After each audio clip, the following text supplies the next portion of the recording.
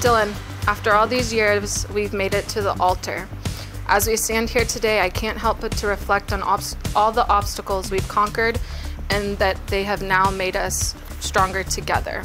You're my best friend, the calm to my crazy, the messy to my neat, and know me inside and out. You've chosen to love me, my quirks and all. In you, I found the love of my life and closest confidant. You inspire me and make me feel like I'm the only one in the world and I'm capable of conquering the world.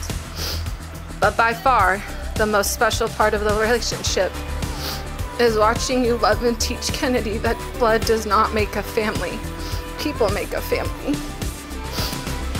You're a wonderful father and role model to our little girl. We love and appreciate you more than words will ever express. Here's to love, happiness, and a lifetime of nose boobs. I love you.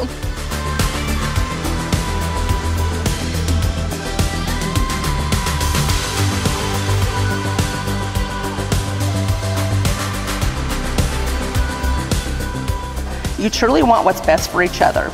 It will take dedication to stay open to one another and to learn and grow together. It will take loyalty to go forward together without knowing exactly what the future brings.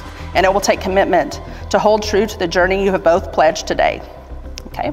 And now, by the power vested in me by the state of Texas, it is my honor and delight to declare you husband and wife. You may now seal your marriage with a kiss.